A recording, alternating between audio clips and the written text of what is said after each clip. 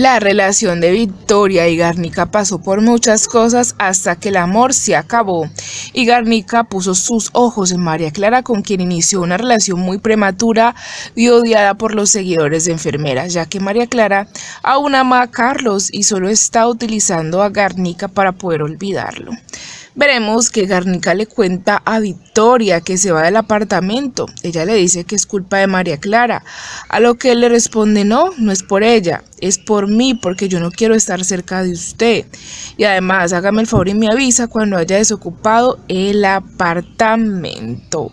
Esto obviamente dejará muy triste a Victoria, quien todavía no perdía la esperanza de volver con el amor de su vida y el padre de su hijo, porque pues aún teniéndolo cerca tenía la posibilidad, pero ahora sí que mucho menos. Por otra parte, veremos que Garnica le dice a María Clara que se está quedando en un hotel, pero ella descubre que no, que él le mintió. Esto pondrá en peligro su relación, porque obviamente pues una mentira destruye la confianza y cuando no hay confianza en una relación se pierde casi todo.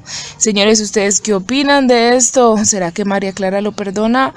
Déjenmelo saber en los comentarios. Besos.